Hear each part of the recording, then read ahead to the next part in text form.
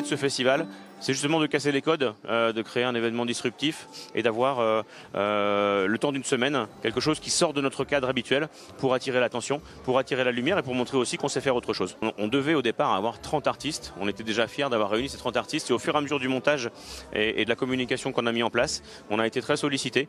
On a monté ce festival en collaboration avec la galerie Papa Josette de Lausanne et on a réussi à atteindre 55 artistes. On nous a contactés avec déjà une façade et on nous a demandé si ça nous intéressait de la faire. Donc on n'a pas eu le choix du mur, mais euh, quand on a vu la surface qu'on nous proposait, euh, on s'est empressé d'accepter parce que c'est pas tous les jours qu'on peut avoir une façade de 12 mètres par 12. C'est toujours délicat et à double tranchant, c'est-à-dire qu'il faut euh, respecter, respecter les enjeux.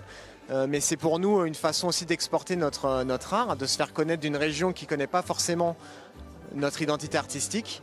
Et quelque part, c'est d'amener notre touche et notre sensibilité à un public aussi qui va découvrir ce qu'on fait par la suite. Donc c'est toujours intéressant pour nous artistes.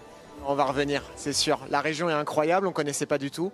Et en fait, on a l'habitude de peindre, nous on vient d'Île-de-France, donc dans des régions très urbaines. Pouvoir faire des fresques au milieu de paysages qui sont euh, magnifiques, ça permet euh, d'a- d'amener une certaine profondeur dans ce qu'on fait. Et on a vraiment adoré, euh, ce support.